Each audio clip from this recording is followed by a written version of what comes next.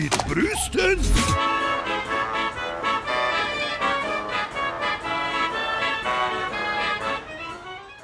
Hallo Jupp. Was sauer? Ich? Wegen des Unentschieden beim HSV? Ach nein, wie kommst du denn da drauf? Ach so, äh, Jupp, ähm, nicht wundern. Die Mannschaft kommt heute nicht zum Training. Ich habe ein Sondertrainingslager anberaumt. Da gab es ein super Camp, das gerade nicht ausgebucht war. Wir sind das, holt uns hier raus! Oh Gott, Philipp, im Unterholz. Was ist das für ein hässliches Viech? Beruhig dich, Mario. Das ist der Ribery. Mit Brüsten? Oh, na dann ist es diese Michaela. Die haben die hier vergessen. Was? Hilfe!